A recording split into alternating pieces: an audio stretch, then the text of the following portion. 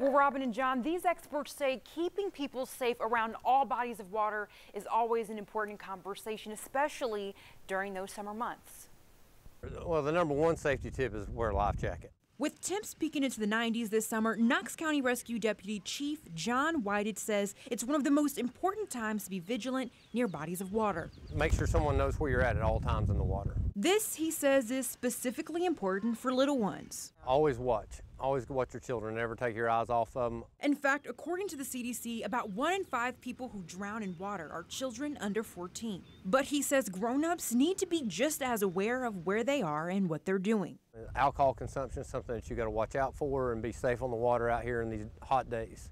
The CDC also says between 2005 and 2014, there were on average about 3,536 unintentional fatal drownings in the U.S. AMR's clinical manager Chris McLean says that's also why people should know water safety isn't just about pools. If you think about lakes and rivers, you know, you, you never really know what's underneath.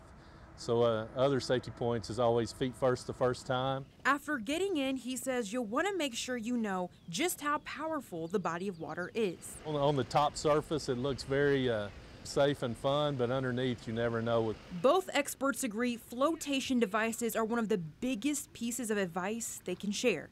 And if you're planning to head to any body of water this summer, they say bring a friend. Those are really key points to uh, when we talk about water safety.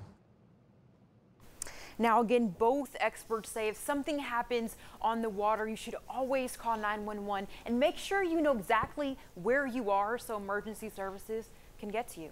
Robin and John? Gabrielle, thank you.